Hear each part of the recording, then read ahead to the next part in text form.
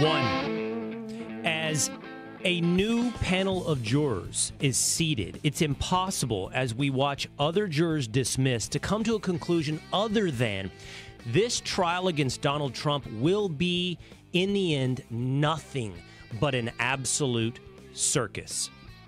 Two, reaction to our debate with destiny, plus NPR's search for the truth. And three, Bill Cotter, also known as Barstool's Billy Football, joins us on his run for Congress.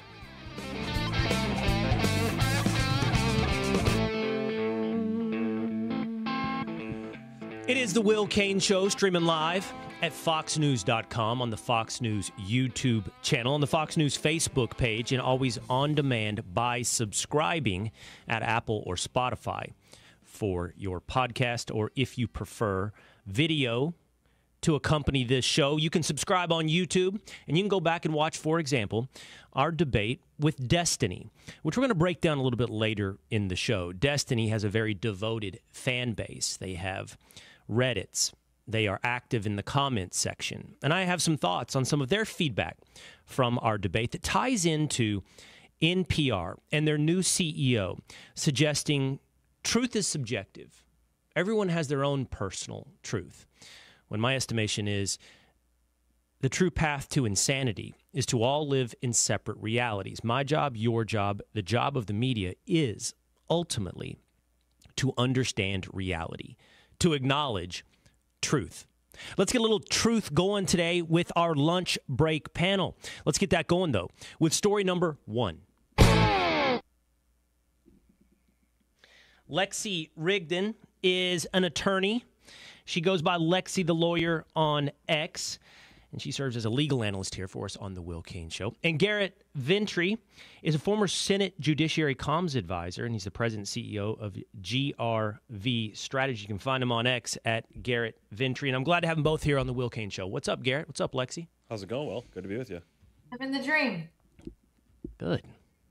Living the dream. Let's let's let's begin with the nightmare. Um, I think, Lexi, I'd love to start with you. That as I watch a new panel of jurors take their seats in New York in the case against Donald Trump.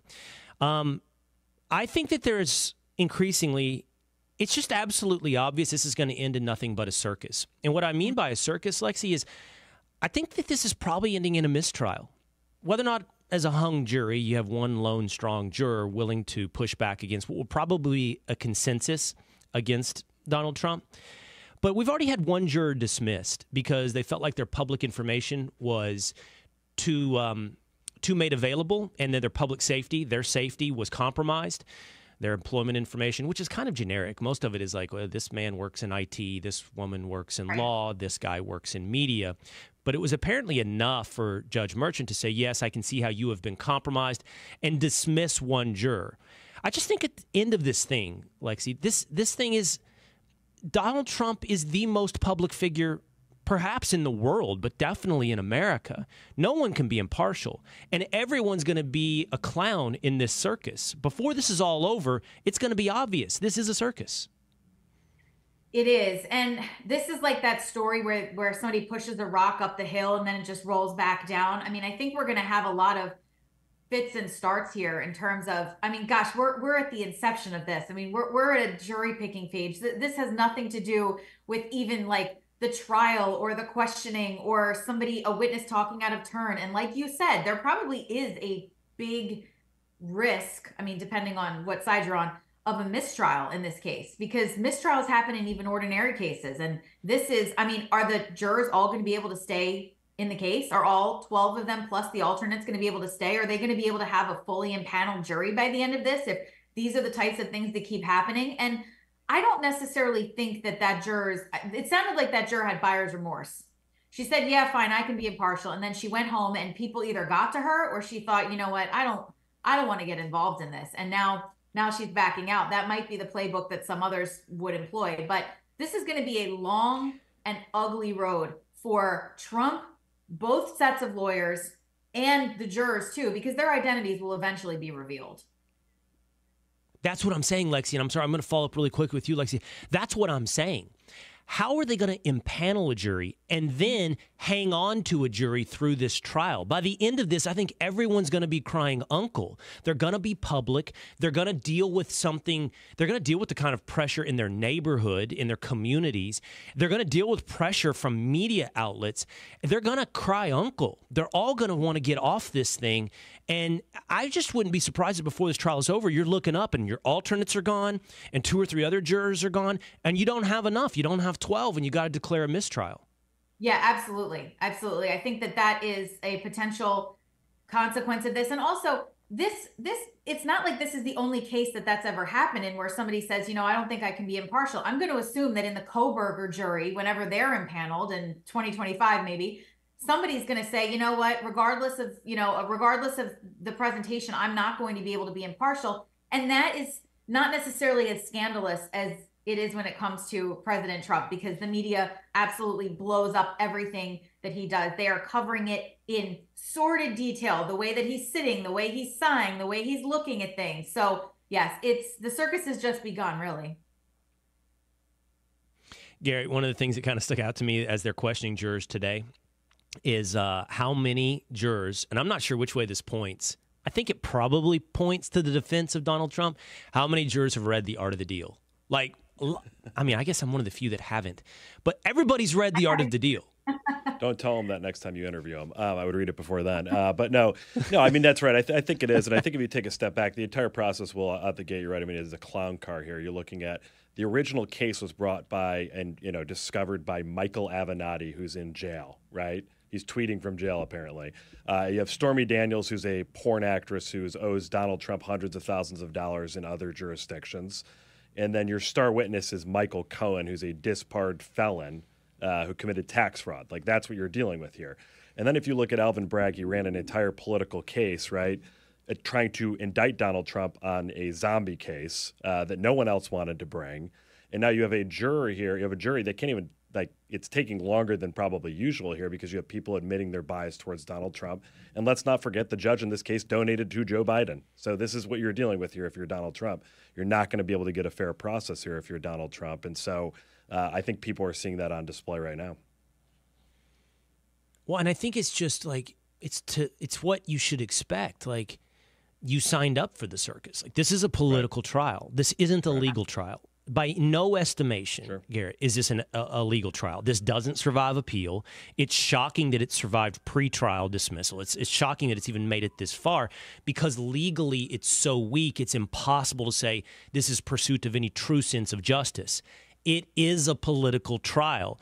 And I don't know that you can successfully pull off. Like the whole goal has been okay, what we need in the end is one thing victory is one thing. The ability to utter this statement. Donald Trump convicted felon. Right. But the circus is going to have bears and clowns and everything else along the way that I don't even know. Like, I'm pessimistic that any New York jury would ever deprive the prosecution and Democrats of that sentence. But I'm getting more optimistic that just the very nature of this thing is hey, you chose to have a political trial in a legal setting. Good luck with how that falls out, Garrett. Yeah, no, that's absolutely right. I mean, this the entire thing is political, like you said here. You're talking about you know up, upgrading misdemeanor charges to a felony to get Donald Trump. I mean, that's essentially what's happened here. And you've got the same prosecutor. We're seeing crime in New York for the last couple of years since he's been the DA, letting dangerous criminals back on the street with cashless bail, right?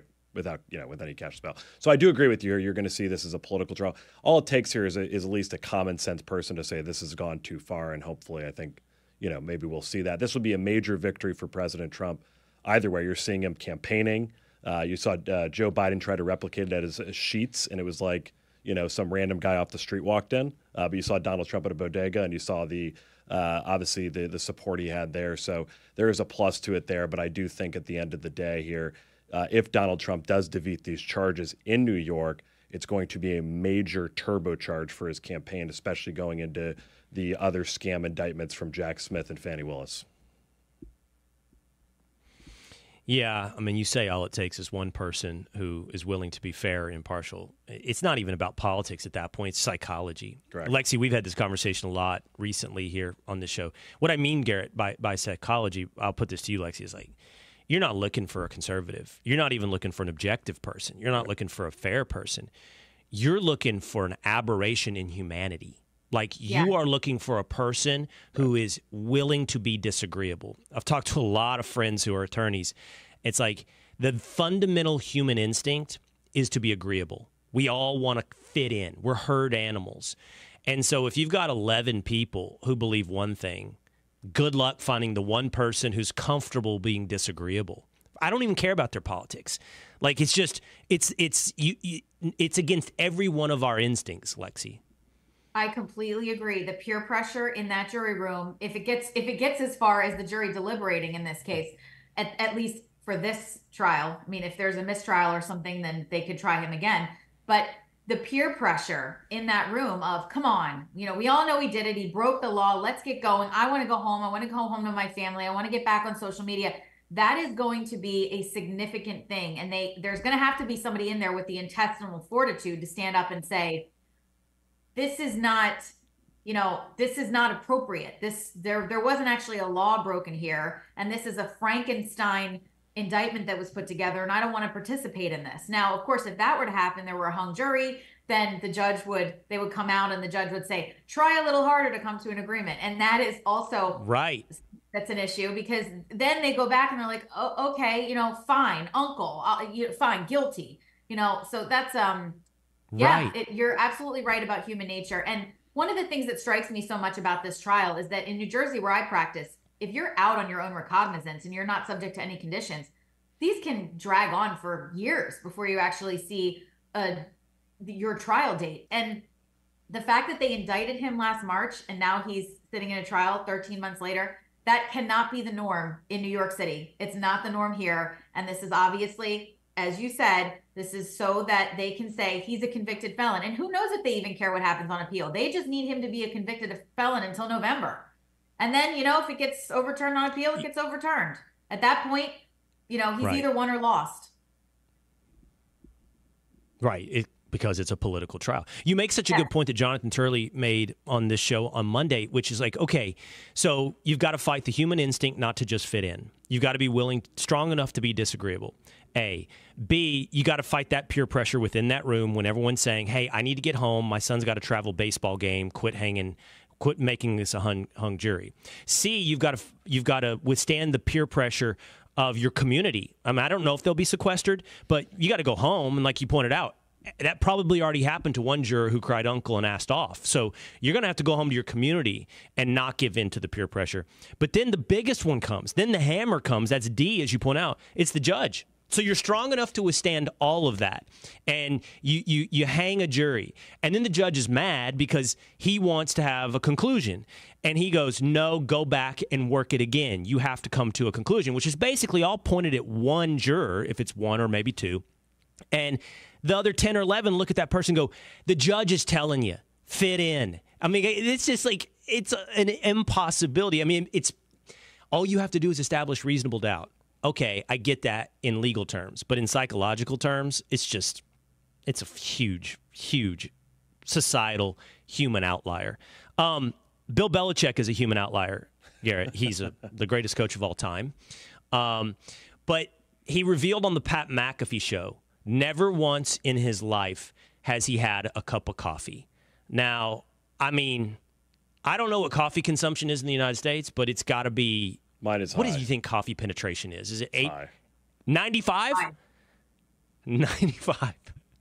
Um, A, what does that say to you about Bill Belichick? B, what have you never done that everyone else does? Wow, that's a good one. Uh, so, A, what does it say about Bill Belichick? I'm a Bills fan, so I was terrorized by him for two decades. So I've got a you know very uh, a hard feeling towards Bill Belichick. But it's very interesting he doesn't drink coffee. I mean, I guess that is not being dependent on caffeine. I guess the way I am in the morning, maybe that does actually help him be. Uh, I saw in the article.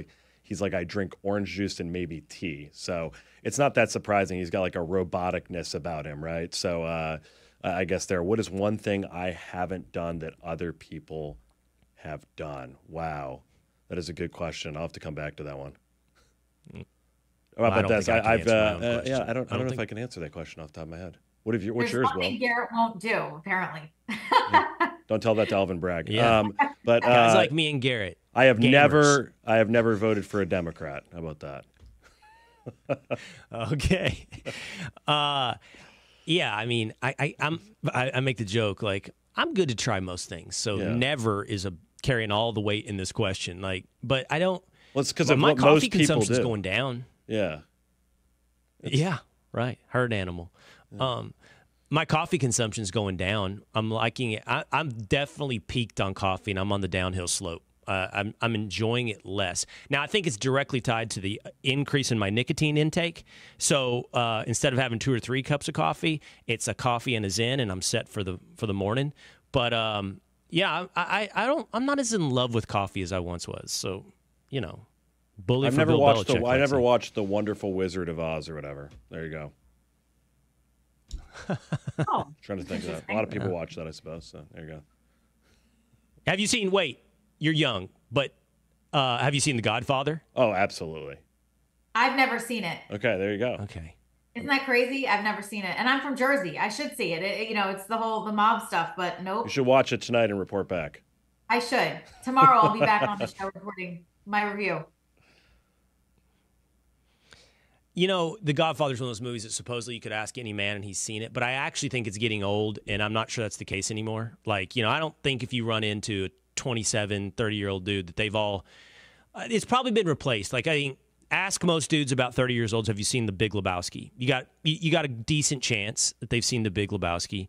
Maybe you could keep coming, maybe Superbad. And Yeah, trust sure. me, folks, I'm not putting Superbad on the same level as The Godfather. but I just think, you know, it's it's getting back there. It's like saying, have you seen Gone with the Wind almost? You know, I think young Ah, people, love more and more, the answer is It is no. a great classic movie, though. I mean, Oh I'm, God. I'm 100 percent I Sicilian, so you line. got to watch it. You Every have to line watch in it. that movie. Uh, you guys are talking about two different movies for sure. There- I Absolutely. mean, I'm talking about this Godfather. is the gender divide. I'm Lexi, talking about Oh, Godfather. okay, I'm talking about Gone with Yeah, the and Wind. Lexi, That you're I You know can talking about Godfather. Gone with the I'll Wind. report back. There you go. All right, let's move to uh, Google. Um, 28 employees of Google have been fired for for staging a sit-in at Google. This was targeted at the AI department, who's made a contract apparently with the Israeli Defense Forces to target um, combatants. Is the in in Gaza? Um, these 28 employees apparently invaded the uh, personal office of Google Cloud CEO Thomas Kurian. Uh, they wrote a list of demands on his whiteboard. They disrupted the workplace. Um, it was under the banner of No Tech for Apartheid, and Tuesday was their day of action. Uh, apparently, there's a $1.2 billion cloud and AI contract with Israel, between Israel and Google. You know, one of the things about this, Lexi, that th- th- my, my takeaway, what I think about when I see this story is that people have a real hard time understanding uh, free speech, both as a guarantor by the First Amendment in the United States Constitution, but even even culturally. Like, I, I just think um, I think it started with Colin Kaepernick. Like, at least this conversation a little bit, maybe because I was in sports, but I think there was a lot of people who saying, you know, free speech. Well, he was wearing a San Francisco 49ers uniform and doing it in the course of business. And that is not a place where your First Amendment rights are protected. Now, if Colin Kaepernick wanted to march in the streets against, you know, police injustice of San Francisco, that's different. And so, like last week, by the way, Woody Johnson, owner of the New York Jets, threw his weight behind Donald Trump. And a lot of people are like, oh, you can do that, but Kaepernick can't protest police violence. Yes, he can. He just can't do it on the job. And mm-hmm. like these Google employees learned a very hard lesson. You can do that in the streets. You can't do it in your boss's office. this is a, a, a classic example of f around and find out you know they they decided to get crazy they decided to i wrote it down actually it was defaced property in the office disrupted um, the business goings on intimidated other employees and instead of just doing that and saying yeah we know we're getting fired but this was more important this is the hill we wanted to die on their spokesperson came out and basically said that they were indiscriminately fired you know how dare google pr- protect their business and their other employees and their reputation. I mean, it's like, what kind of millennial Gen Z take on this? You know, it would be one thing. I mean, I, I find the whole thing distasteful, but be more palatable if they went into it saying, this is so important to us that we're willing to risk our jobs and we understand what's going to be coming down the pipe. But don't do it. Don't be all tough and then complain about it because you lost your fancy Google job. I mean, this is it's it's honestly madness that anybody thinks that they were going to be able to get away with this I don't know what reason. Yeah. I mean, you know, to make it fair, you know, Gary, I've always said, like, look, if a Walmart checkout clerk wore a Make America Great Again hat to work the counter, the bosses are perfectly fine saying, hey, not on the job. Right. Mm-hmm. No, that's right. I mean, you're making half the customers feel uncomfortable. People are going to Walmart to literally, you know, buy goods or groceries or things they need. They're not going there to make a political statement. They see enough on TV and in their daily lives, right? They don't want that. And so I do think it's interesting. There's kind of a breaking point here, which is interesting because a couple of years ago, companies might actually have allowed this. When you think about you know everything we saw from the Me Too movement to Black Lives Matter to the COVID lockdowns, there was a point where people were kind of allowing this insane type behavior. And so it's good to see that there's actually a breaking point that a liberal company in Silicon Valley like Google, I know it happened here in New York City, which also a very liberal city, uh, was able to say you can't just cause absolute chaos in the workplace and be rewarded for it. You get fired. And so I think Lexi's right. It is kind of like an F around and you know you find out moment here. You can't act that way, and so it's good that companies are doing that. I disagree with Google on a lot of different things, but it's good that they're standing their ground. That you can't have workplace behavior like that. It's absolutely ridiculous. You know, there's one more thing on this free speech because I mentioned the difference between your First Amendment guarantees and also sort of, which I think is quintessentially American, the cultural embrace of free speech. And there's a lot of confusion, I feel like. And it's happening, by the way, on the right as well, where it's like, um, just because you have a right to free speech doesn't mean you have a right to get paid for your free speech. Like, if you're if you're a public sphere, public space, yeah, you have First Amendment rights. Okay. I think culturally now, if you're a public platform like X or Facebook, then, and what I mean by platform is you're not a publisher, you're a platform. Um, you should not be censoring views. You should embrace almost an absolutist position of free speech in the pursuit of the cultural American embrace of free speech. But it doesn't extend to a publisher. Like a publisher can have an editorial point of view and say, hey, this does or doesn't align. And I think a lot of people are going, well, I thought you, you know, your free speech. Yeah. And by the way, I, for me, if I were a publisher, my personal editorial point of view would be I want people to disagree with me. I had a guy on earlier this week named Destiny who I disagree with on a lot of things. And I want that because I think it enhances my editorial point of view. But others don't believe that. And I don't think that makes them obligated under the banner of I believe in free speech to pay people for speech that doesn't fit, I guess, what they believe to be their editorial vision. Yeah, I agree. I mean, as a as a publisher, right? That's that's different than obviously a you know platform or free speech, or especially when you're talking about a lot of times these are you know privately owned or privately run platforms, right? Or excuse me, publishers are, are different than a platform, obviously. So no, I do I def- generally track that, but I do agree with you that there is something about disagreement being a good thing. You see this on editorial boards, you see this on panels, on shows. It's good to get both views. It's good for debate, and it's good, honestly, to reform your own opinion or you know for viewers to hear another opinion. Yeah, Lexi. What you're talking about reminds me of the whole Candace Owens Ben Shapiro thing, where you know she left the Daily Wire, um, whether of her own accord or not, we don't know the details. But he went on and said, "Hey, we are a publisher, we're not a platform. So even though yes, we do believe in free speech as a concept, and they're not a public entity. So it's you know free speech is more of a concept as opposed to a legal construct. But they said we don't have to actually publish and put out things that we don't agree with. That's not what we're here for. We are not a platform for people to just use it to get their message out. And i agree with you on the fact that people mis misunderstand i'm not sure that that's a word but i'm going to use it misunderstand the concept of free speech. And it goes back to a conversation you and i had weeks ago about people not understanding how the influx of illegal immigrants could actually change the allocation of, of votes in the electoral map. And because people have a basic misunderstanding of civics. And that kind of goes back to this also, where you have a private employer and somebody is saying, hey, that's against free speech. All right, well, you don't get free speech at Google. you have to abide by the workplace right. Handbook. That's what you have to do. You have to be an employee and abide by your requirements as an employee. You can't just say whatever you want. That's not how that works. But a lot of people do not understand the nuance. And frankly, it's a it's not even all that nuanced, but people just don't understand it. So Lexi's referencing a conversation we had a few weeks ago where illegal immigration, whether or not illegal immigrants get the right to vote, by affecting the census, they affect the um, the representation in Congress, and they can affect the electoral college as well, and then affect the way the country votes by the, merely their their presence. You can go back and find a previous episode of that conversation by subscribing at the Will Cain Show on YouTube. All right, Lexi the lawyer on X, a legal analyst and attorney in New Jersey, and Garrett Ventry, former Senate Judiciary Comms advisor. He's on X at Garrett Ventry. I really appreciate you guys hanging out today on the Will Cain Show. Thanks, Will. For having us. All right. All right, it was mentioned there earlier this week. We had a conversation, a debate with popular uh, YouTuber, Kick streamer, formerly Twitch streamer, Destiny, Steven Bonnell.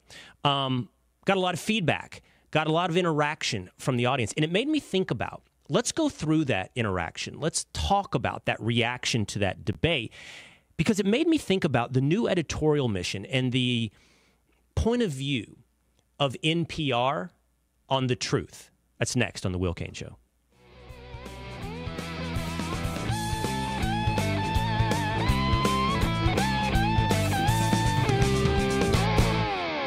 It's time to take the quiz. Five questions, five minutes a day, five days a week. History, pop culture, science, sports, civics. How much do you know? Let's find out. Who was the first person to walk on the moon? Jackson or something? Neil Armstrong. Take the quiz every weekday at thequiz.fox and then listen to the quiz podcast to find out how you did. Play, share, and of course, listen to the quiz right now at thequiz.fox.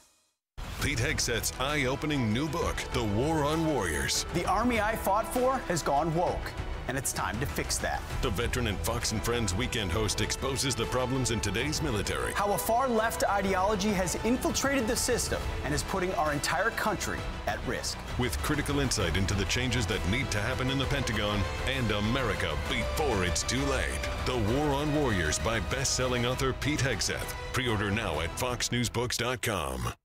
I'm Dana Perino, and this is Perino on Politics. Dana Perino, co host of The Five and co anchor of America's Newsroom, returns to Fox News Audio with a brand new podcast, Perino on Politics. Listeners of Everything Will Be Okay will be thrilled by the return of a familiar voice, but with a fresh spin as Dana guides audiences through the 2024 election cycle. Make sure you subscribe to this series wherever you download podcasts and leave a rating and review.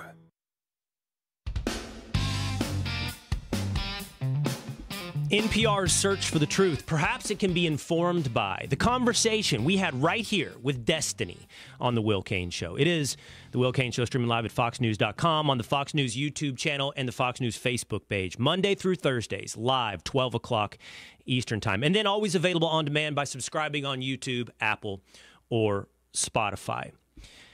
I got to give Steven Bonnell, I got to give Destiny credit, not only for interacting with people whom, whom he holds deep disagreement, but also for curating and developing an audience that I have to f- say I find engaging, interesting, honest, wrong, and funny. We've got a lot of reaction in our YouTube comments from uh, the audience for Destiny, and he has a very active Reddit as well uh, of fans of Destiny. Now, Destiny is a um, streamer, uh, very popular on the left, who has had many viral debates with people like Jordan Peterson and Ben Shapiro and Candace Owens.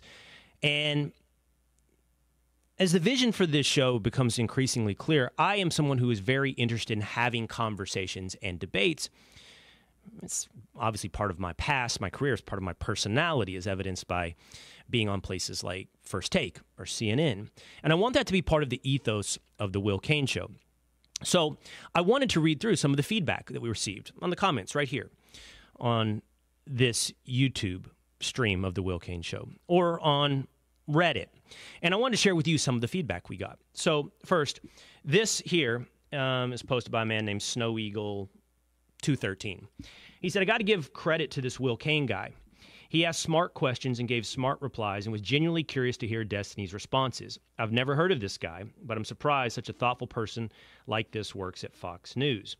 And obviously, he's a bit ignorant on some things, but I don't get bad faith vibes. He seems genuine. Let's hold it there for just one second. I appreciate that. I'm not coming at this in bad faith, and I am genuine. And then it gets to my favorite part of that reply. We can put that same one up. If you look below, somebody named Skoggy says, Agreed. My favorite thing was that Cain gave Destiny huge amounts of space in the conversation. I'm not sure he ever interrupted Destiny at all.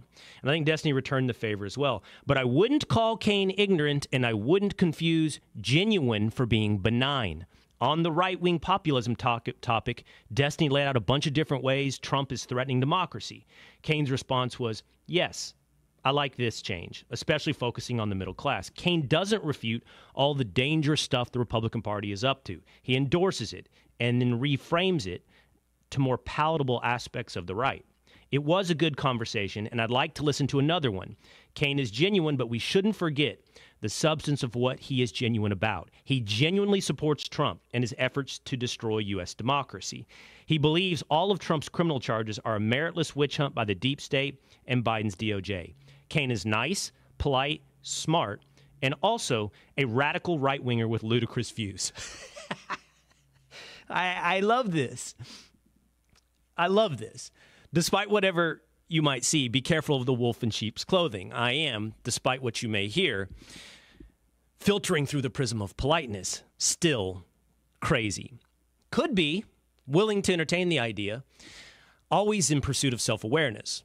But those tables can be t- turned. It could also be that I'm correct, and then maybe you are indulging in some lunacy. Uh, this was a mystery to me um, commenter on their Reddit page said, he is mewing during all pauses, Giga Chad. And then they all went on about this mewing thing. Somebody else said, What I'm thinking. What is mewing? This is the only place I've ever heard this term. What meme is this? And then another person says, it's people pretending that pushing your tongue on your palate all the time instead of letting it rest and flexing your jaw muscles can change the morphology of your jaw and face to look manly. It's mostly incel science, unproven. but then there was a debate like, who's mewing? Is it me or is it Destiny? Somebody said he's mewing with his chest hair out. Bold move. That would be me. Another said, that's actually just his goatee. Then that would be Destiny. so let me just go back to the control room for just a minute. Uh, young establishment James maybe is more versed in internet culture. Or, uh, two a days Dan. What is mewing? Do I mew? Uh, you know, I'm going to defer to the younger James on this one because I just learned what it was too. What is mewing? Are you mewing now? Do you mew no. all during the show? No. You, is that what you do? There's there's what is there, mewing, James? There, there's an obsession a lot on Twitter about kind of perfecting your jawline to make yourself more uh, palatable uh-huh. to uh, females, but it's there's better ways to do it than like playing with your tongue. You, and we got we got Billy over here too. He's he's laughing at us over here. well, hold on, me. hold on. I'm not too well versed. I can this, see Billy football in the background. First of all, James, clear your throat. Uh, second, uh, James, uh, you hint there are better ways to perfect your jawline. What would those be? How how? Because I'm going to tell you something. Surgery. I might be mewing. I might I might be mewing without even knowing what uh, mewing was. I might be kind of giving myself that alpha jawline. Yeah, our, our good friend Andrew Huberman has these little blue things that you could chew on. Uh, oh, that yeah. works a little better. I've seen those. Um, could eat less cookies and lose weight. That's probably the best best way to do it. Bought it. Genetics. Genetics Bought sometimes. It. Own the Jawzrsize. own the Jawzrsize. I own it. Bought it off of Instagram. then I read it gives you lockjaw. So I had to back off. Billy Football over there in the background. Um, were you familiar? I mean, we're going to he yeah, can't running hear you, for Congress, and I don't know if this is uh, you just tell him Billy Football is about to join us. He's from Barstool. He's running for Congress. Billy, I mean, you're going to deal with a lot of important issues of the day, but were you familiar with mewing? So it's actually not even of my generation. I'm 25 years old. It's actually more of like college kids now, high school kids. It's like Oh, a wow. TikTok thing. So it's it's something even new to me, but it, it has something to do with just like even like doing the pose with like Yeah. it's it's weird. It's it's even weird for my generation. I assume, like you know, the actor Timothée Chalamet. Like I assume he mu- like mews all the time. His jawline is just insane. Or Henry Cavill or something like that. It's crazy. All right. Well, we'll bring Billy Football back on more important issues here in just a moment. But here's another comment I want to throw up. Uh, Will Cain is altering his accent to cater to the idiot right. It's so effing hilarious to me. And someone says, He's from Texas. Calm down, Chief. And then someone links to one of my debates with Stephen A. Smith on First Take and says, Listen to his accent there. Then watch the video of Destiny's debate with him. It has been four years. Your accent doesn't revert or adapt that, adapt that fast, boss. And then the other rebuttal is, You never heard accents pop in and out? You know what? Destiny Reddit, once again, I'm going to plead guilty. Although it's not a it's not a affectation. I, in that time frame when you saw me destroying Stephen A. Smith, I have now moved back to my home state of Texas, and I think I've learned this about myself. My accent is malleable, but this is the real me. That other New York version of me, that was two 15 years long in the making. This is back to authenticity. Speaking of first take, I had a fascinating conversation with a buddy of mine this morning about, you know, truth and how you communicate with people. And I was telling him, you know, when I was on First Take, and a lot of the comments from Destiny's folks, like, wow, when he was on First Take, he was so divisive and he's so different in this conversation with Destiny. Well, First Take is divisive, it's a debate. It's like going into a courtroom and saying the lawyer cross examining a witness is being too pugilistic. It's like, come on. The show starts with, I believe the light was green, and someone responding, I believe the light was red. And by the way, it's not manufactured, it's two differently truly held beliefs. But that's the format of the show. And the conversation with Destiny was more like, I want to understand how you think. I'm going to share with you where I think you're wrong. I'm going to tell you how I think. But here's what I really think. Either way, first take or a more cordial, searching conversation, this is how you arrive at the truth. And whether or not I think the light was green or you think the light was red, the light was either green or red. There is objective truth. And that needs to be explained to the new CEO of NPR.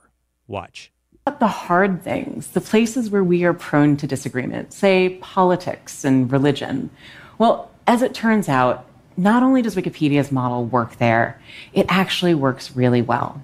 Because in our normal lives, these contentious conversations tend to erupt over disagreement about what the truth actually is.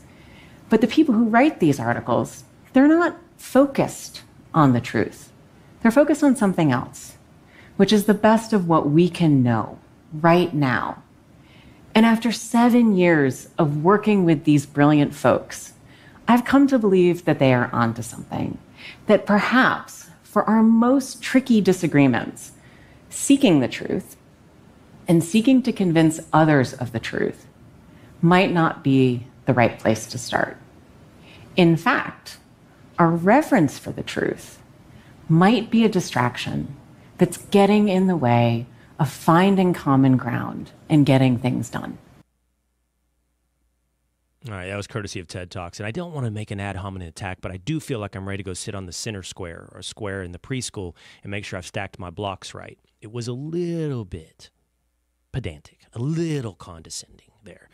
But hey, it's a TED Talk. So here's the thing she's not all wrong. So there are people, we all do walk around with different truths, but they're not the truth. Your perception and my perception inform what we believe to be the truth. And even though they used to joke on first take that I would say I have a monopoly on the truth, I understand that none of us have a monopoly on the truth. But objective truth has to be our North Star. It exists. And that's what we are working to understand and move toward. And why? Because if you don't understand reality, you can't change reality. You can't live successfully within reality. This stuff about my truth, your truth, it's all bullshit. That's not real, even though you can live through the world of subjectivity and perception. But the point is, we understand not only our perception, but others. And this is why I want to have conversations with guys like Destiny. Because here's how it works Destiny and I are sitting in a diner. Dude walks in with a 45 and robs the diner, right? I see something, he sees something. It's panic, it's adrenaline. And we're probably going to come away with different recollections of the events. I think mine's true. He thinks his is true. But whatever we each think is true really doesn't impact the real truth. There is a truth, something happened. The light was red or green. He did walk in and then raise his gun. Or he had his gun raised when he walked into the diner.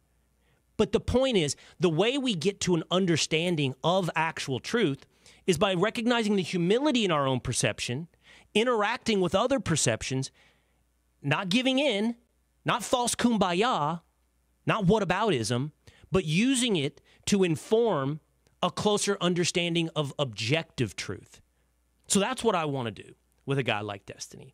And I would submit that's what NPR should do, which would mean, by the way, entertaining beliefs of people like me or Billy Football or anybody right of, of Bernie Sanders. Because right now, that's who you are, in NPR. You're locked in one perception informed by a left wing of ideology who honestly would look at Barack Obama in 2010 and say, wow, he's alt right. So maybe for you to understand actual truth, you might need to entertain some other perceptions that help inform your perception, pushing you closer to actual reality in the world. Finally, is the final comment here from Destiny's Reddit. Uh, DT Might says, That was surprisingly one of the best discussions I've seen in a while. I certainly was not expecting Destiny to bring up parchment guarantees. It's referencing Justice Scalia, and have Cain not only be familiar and engage with it, but actually fair, fairly accurately describe the meaning and context around it. By the way, they then link to the Scalia testimony, which I would encourage. It's awesome. Scalia describing what makes America exceptional, why we are free. It's amazing. And Destiny happened to pick one thing that I was a big fan of, a moment and a man that I'm a big fan of in Scalia. Uh, real quick, uh, uh, there was a response. I agree. I want to see more talks with this dude for having such an apparently crazy worldview. There we go again. He was surprisingly engaging in good faith and clearly intelligent. Thank you. I want to do it too with Destiny. And then finally, look at the bottom. I was going to bring this up, guys. Uh, two a days, uh, establishment James.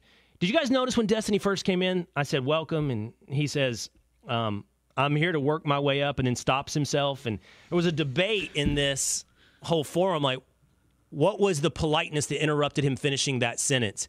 Do you think he was about to say, "I'm I'm working my way up to someone bigger than you, Will Cain. I'm working my way up to Hannity"? Was it an almost insult of me? What, what, what happened right there? Yeah, or some some kind of insult or joke, like your mama joke or something too. Some people were saying it might have been like, or just I'm, I'm working working up to your mom's house. Yeah, exactly. I saw that so many times on Reddit, so it was really funny though.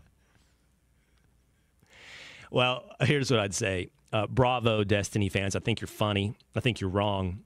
But I also think you also show a great amount of good faith and interest in working towards the truth. May you all be future employees of NPR. All right, coming up, this is real. We take this seriously. Barstool's Billy Football is running for Congress in New York. Billy Football, famously, of Pardon My Take, number one sports podcast, now looks to represent the United States of America. Next on The Will Cain Show.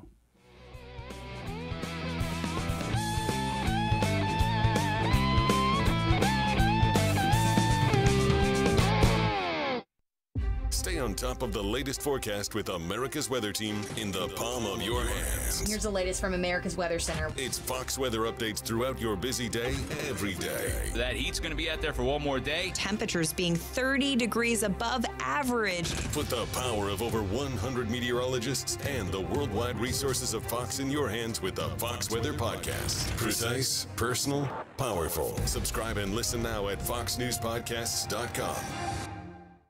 Is this the start of a NASCAR dynasty for Ryan Blaney? Ready to go to work. A redemption tour for Chase Elliott? Is Denny Hamlin a ruthless competitor or a villain?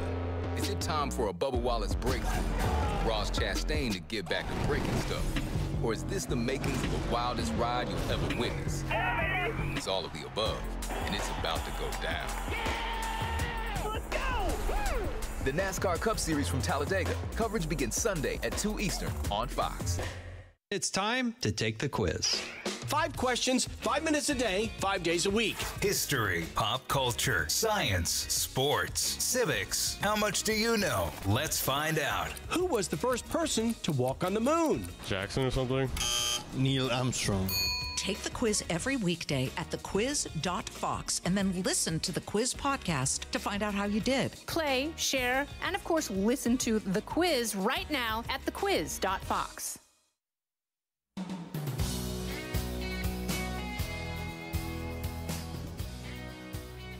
Bill Cotter, aka Billy Football, is running for Congress. Barstool's Billy Football is running for Congress. It's the Will Cain Show, streaming live at foxnews.com.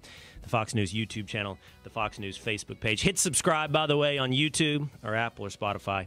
You can keep up with us every Monday through Thursday. Friday is a sports edition of the Will Cain Show. I understand the comment section is not only full of uh, Destiny fans uh, who we've managed to provoke, but now we run the risk of the most rabid fan base on the internet. We run the risk of provoking the Stoolies who have arrived here on the Will Cain Show because of the presence now of Bill Cotter. Billy Football.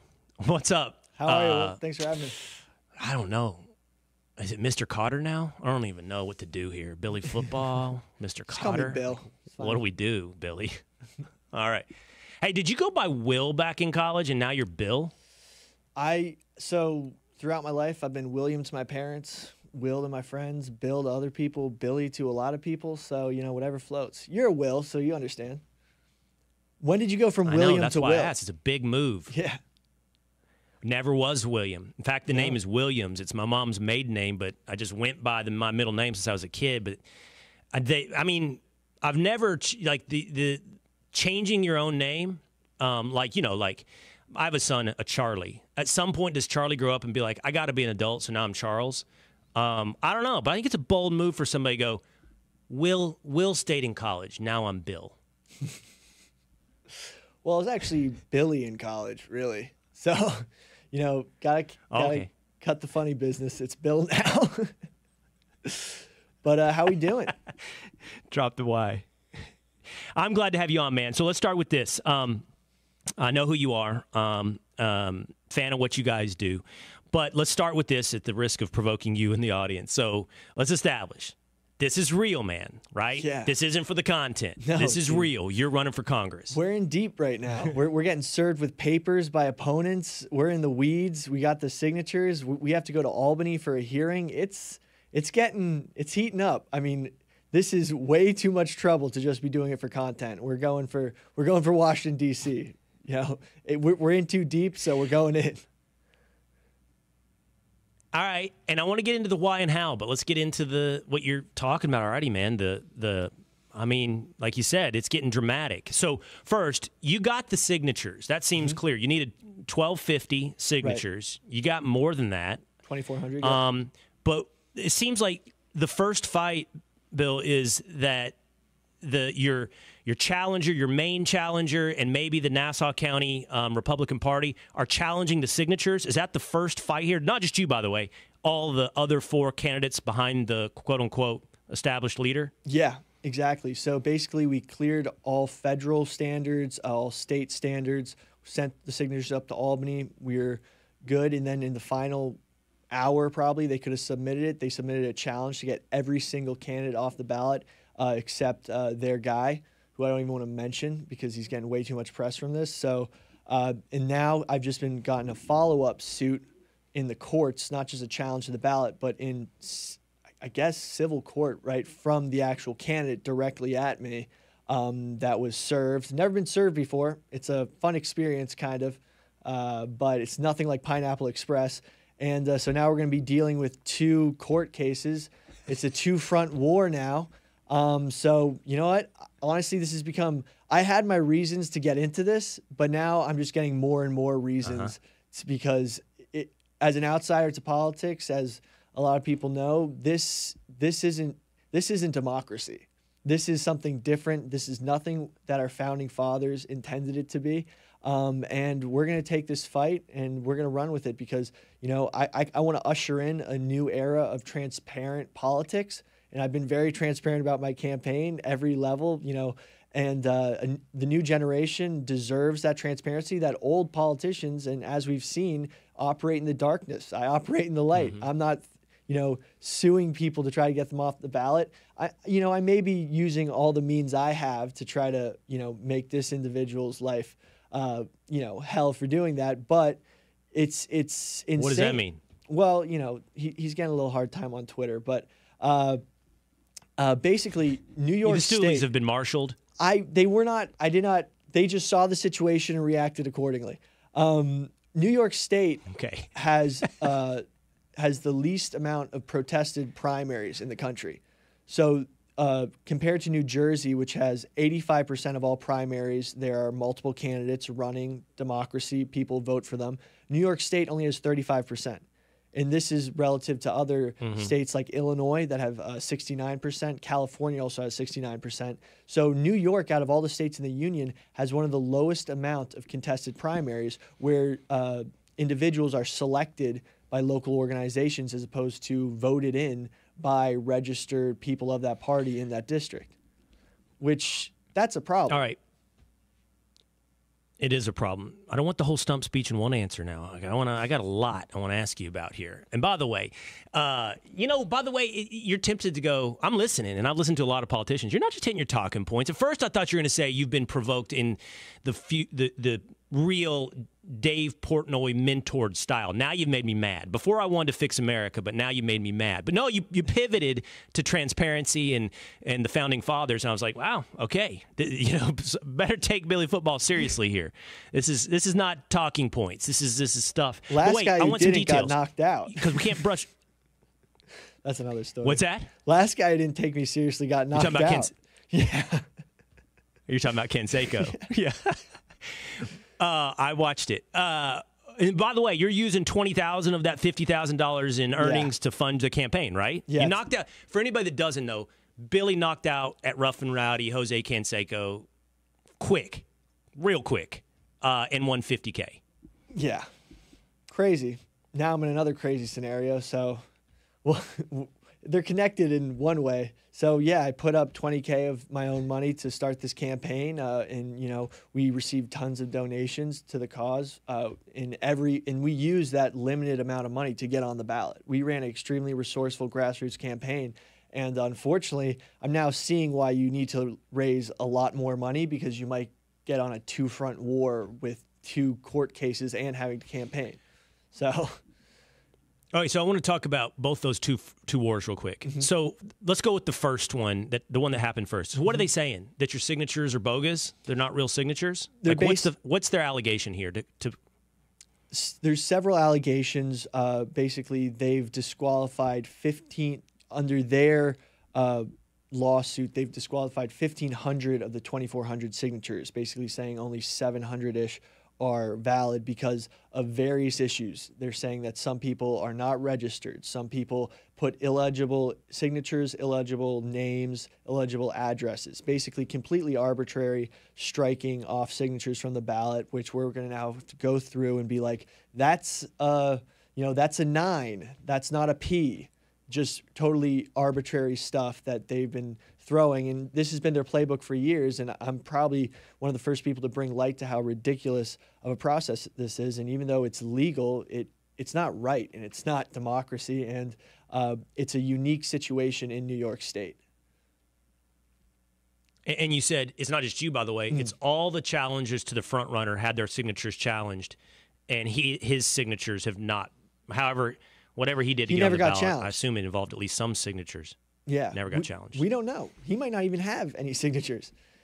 But he wasn't challenged and no one sent a lawsuit against him. So he did it at the last second before the uh, deadline. And if that's how he wants to win the race, I don't see how you can set yourself up for the general election and think that no one's going to call you out on those actions and you know you were anointed you were selected not elected so it's a it's an interesting situation that is impacting not just this race uh, and not just New York State, but it's probably happening all across the country. And I think it's a microcosm of much larger issues that we need to deal with in politics, especially in this day and age. Yeah. Okay, so tell me about the second front of the war because you said it just happened. You just got served. First of all, I want to hear what it's like. You said it's not like Pineapple Express, and then but I saw you posted it on Twitter too, and but you haven't said what that's about. What'd you get served for? Uh, to then challenge my signatures and challenge me off the ballot in not just in Albany and not just for a federal hearing, but for a I, I don't I think it's technically civil court.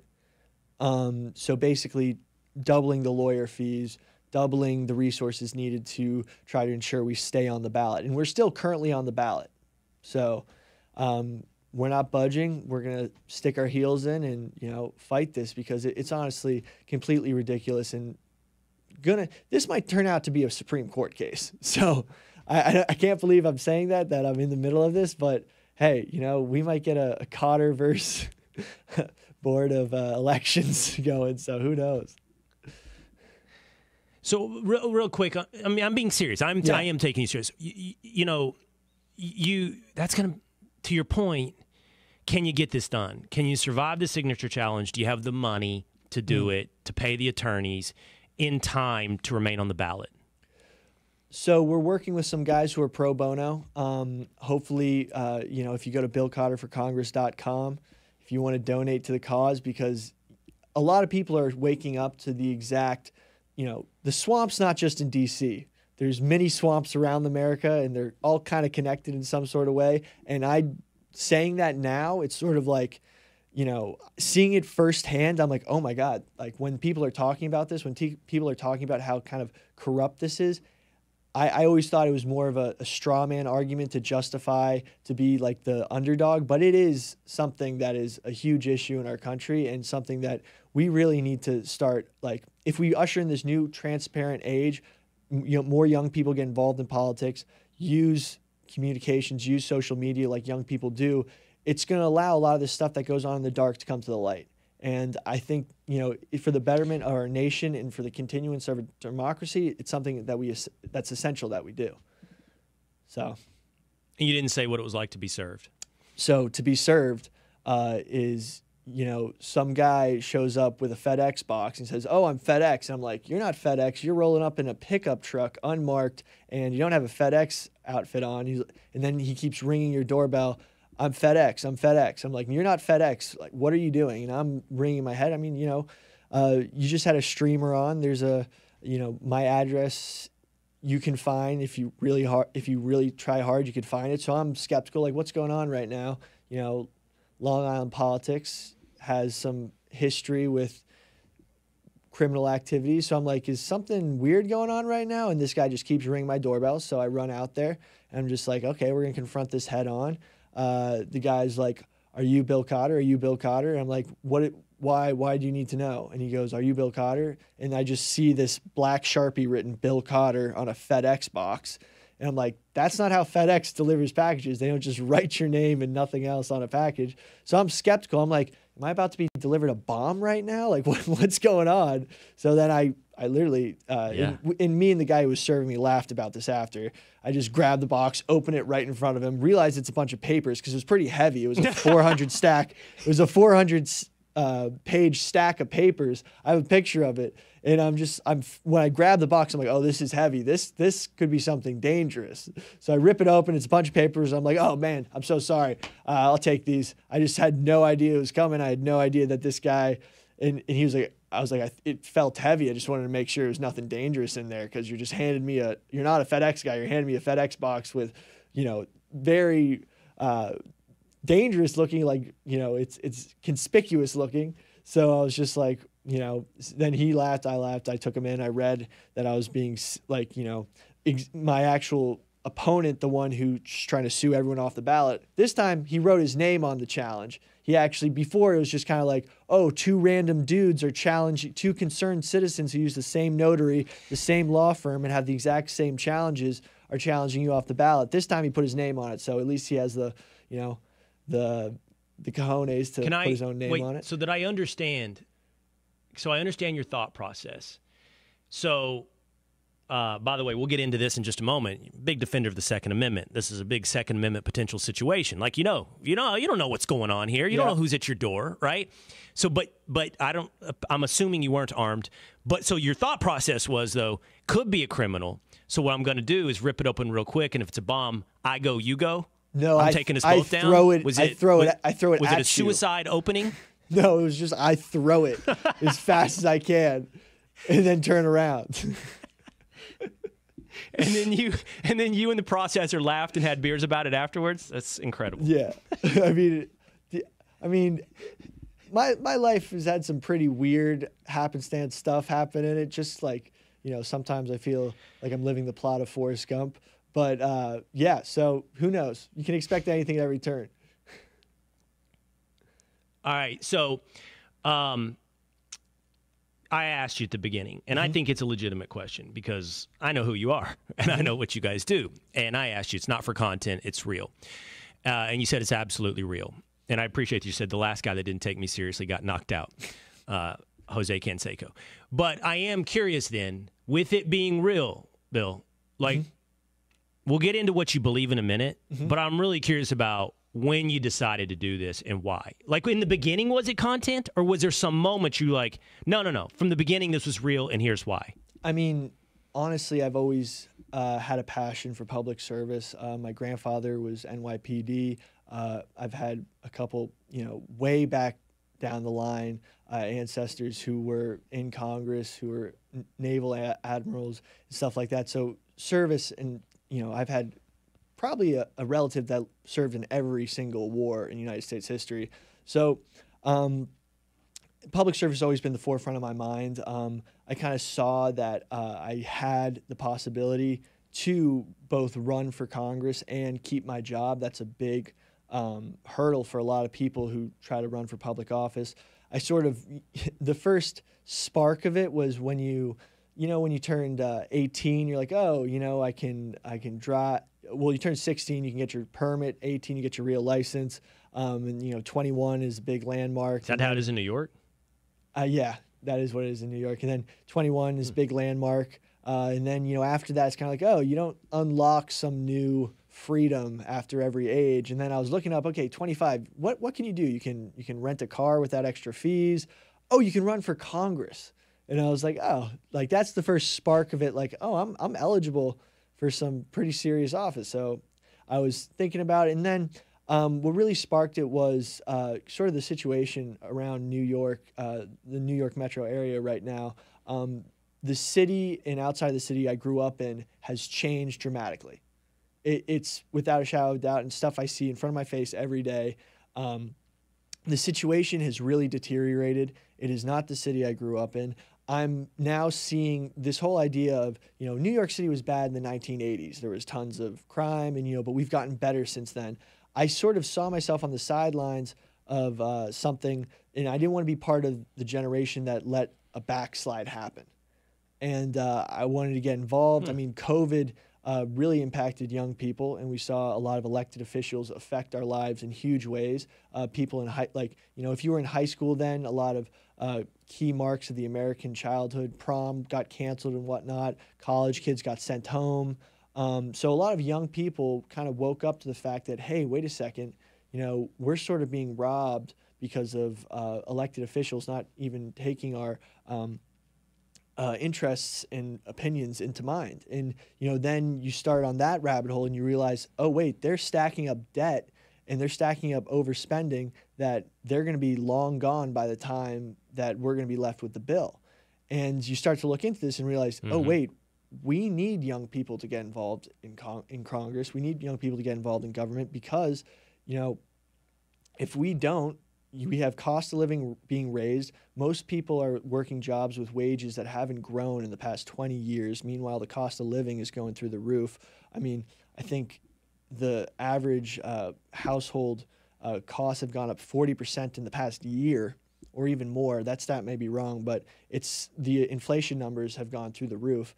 And we're looking at a situation where people have no hope of buying a house in the next five years, especially young people. Right. So Right. we're in a housing crisis. We're in a you know a wage a lack of wage growth. Everyone's savings are being robbed by inflation. Oh wait a second, I really need to get involved in this because we're going down a road where I turn 35 and you know our GDP might be less than the debt payments we're going to have to make on our national uh, debt. So we got a big problem coming. I like that you're young. Well, I like that you're young and you get a lot of these issues because, uh, to be honest, they're real and they affect people and they're boring. Like, you want to talk about GDP? Like, my, I just lost thousands of viewers. You know, I'm jo- I'm joking, but I'm serious. Like people, like I've done this for a long time, Bill. I've done it in sports. I've done it. P- people just get bored with like things that really matter, and that's the truth. You know. Um, but one thing that you said to the New York Post, I believe, which I found fascinating, you said um, a tipping point was Randall's Island full Oh, of yeah. illegal immigrant shelters. And Randall's Yeah. Island, for people that aren't in New York, is like a huge recreational facility with soccer fields. Mm-hmm. My boys grew up playing soccer at Randall's Island. Yeah. And it's just like it's the place where everybody in New York can go and play baseball, football, soccer, whatever. And now, at least a percentage of a portion of it's a huge illegal immigrant shelter. And that's real quality of life stuff that, as you point out, you can see changing before your eyes in New York City. Yeah. And and with that, even though it's a, a portion, uh, only a portion is where the actual camp is. It's not like those people are contained that spot. They're going everywhere. There's been games canceled. You see people on Twitter talk about how their son's soccer game got canceled because there was a guy who wouldn't get off the the the pitch, the field, and uh, and it's all sorts of stuff. Just Nice. sort of robbing. Uh, you know, it, it, that was supposed to be a place you could drop your kid off to play a doubleheader baseball game, and if you had other things to do, so you could go and come back. But now, you know, you can't leave your kid for two seconds because there, there's people that we don't, we did not vet who got through the southern border, and we don't know their criminal history. We don't know if they're there to, with if they came to America not with the American dream in mind. And trust me, I know like our nation's been founded by immigrants, well-meaning immigrants looking for the American dream. But we're in a situation where, you know, we need to figure out who all these individuals are, what their intentions are, and give them an easy path to citizenship in one way, but just ensure there is a system they have to go through to get citizenship. Just a system in general, just some sort of uh, Yeah. processing facility, some sort of containment of this total unregulated, honestly cartel controlled border. So it's a Well, huge I went issue. to your site, man, and I looked at all your, uh, yeah, I looked at all your issues on your site, and you know, well, first of all, you're running as a Republican, and so good luck in your future in sports media as someone who can speak directly to that um, environment. Uh, but you'll be fine. You've always been an outsider and independent. Um, but your issues that you're into are in one on one hand i would say uh, like i like everything you're saying a lot you know and and they're they're kind of standard republican on a lot of them meaning you're worried about government spending you're worried about inflation you're worried about the second amendment. But then there's some things that you're also bringing to the table that maybe have a reflection of you being young. Like one of the things you're pointing out is you want to hold big pharma accountable which is an interesting thing to say and a position to hold. And another one is what you brought up a minute ago the housing crisis, which particularly affects your generation with high interest rates accompanying high housing prices. How do you ever, and by the way, low inventory in stock, how do you ever get in? And so I think those are, you got some really interesting stuff. And I'm saying this sincerely. You got some really interesting stuff that you're advocating for um, that, I mean, I think I wouldn't hear from most people in sports media, but um, that you have chosen to run for as a Republican in New York.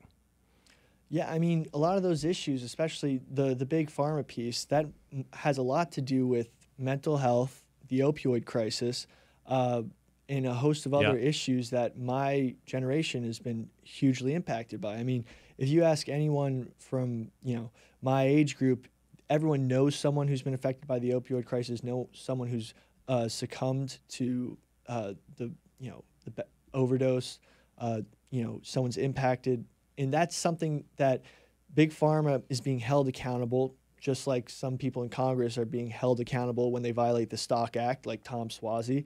Um, but they haven't really been had to pay for the huge generational uh, systemic impact that the opioid crisis has had on this country, and it's gotten way worse since COVID.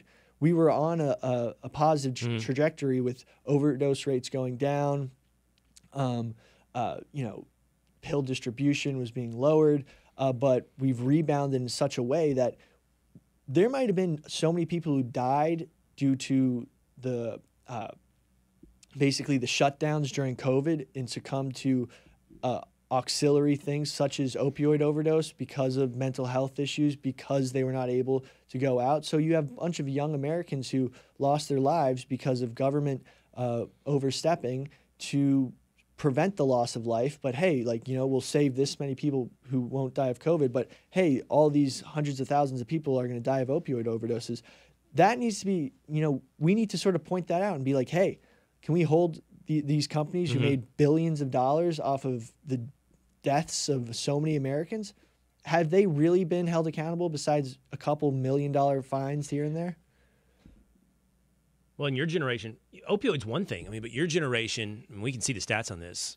there's a whole host of drugs they're taking under the advisement of big pharma. I mean, Yeah. I don't know. I, I think in I my think gen- it's like like 40? a huge percentage of your generation is on something, Yes. antidepressant, ADHD, something on something. and part of that is because uh, and I the- think that's hugely concerning. it's hugely concerning because you have so many kids and so many like people my age where it's like they're not trying to find a solution they just want to find users forever and you know that might come to a total you know I'm, i might not be informed enough on this uh, topic but you know the mental health crisis in our country is something that is having a huge impact on the next generation a huge impact on you know our function as a society with many uh, many topics, be it you know gun control, be it uh, a host of things. So why aren't we trying to find solutions instead of trying to find consumers? And big pharma has been geared towards profit, Right. and they have they've lost their original founding, you know, the original nuance of medicine, which is to help people. So, you know, that's probably a, a huge other Well- issue that is going to be hard to tackle, but someone's got to be like, hey, f- take the first steps. Well, again, I like all the issues you're talking about. Um, so here's what I'd say: like, I would wish two things for you. Okay, if you win, um, I hope you stay strong because that place will co-opt you and turn you into something that you haven't been in your life, which is independent. That place, Washington D.C., will turn you into a creature like everyone else. But I do think you have a level of independence as exhibited by your career and the fact that you're even doing this as a Republican in sports media that shows maybe you can withstand that pressure. So if you win, I wish that for you. If you lose, um, or you get kicked off the ballots, or you get boxed out, I hope you keep talking. I, I mean, I hope you keep finding ways to serve. You know, I hope you just keep being you and being independent. Uh, you know, and being, and I hope being real. I appreciate that. And hopefully that's the best thing that comes out of this that people start looking at the issues I'm raising and hopefully make a difference. All right. Bill Cotter, Billy Football of Barstool. Um, I, I, I, you know, I guess I might have assumed that I'd run into you in some capacity, but I never thought it would be like this, as you running for Congress in NY3. So I wish you luck, man. Thanks for coming in and doing this. This was fun. Appreciate it. Hey, you- wait, wait. Before you go, if you're going to be a good politician, you got to plug that website one more time, Billy. Congress.com. I got I snuck one in there. Say it Cotter again. For Congress.com. Yeah, you. Sn- That's right. Trust me, I can do a three-minute interview on Fox and Friends, and I'll hear about their website three times in three minutes. So Bill Cotter you for got it three times in That's 20 Cotter with a C. Welcome back with a C. Make it four. Make it four. All right, thanks, Billy. Best of luck. All right, there we go. Um, fun show today. Good show today, I think. Uh, hit subscribe, YouTube, Spotify, Apple. And then, if you do that, I'll see you again next time.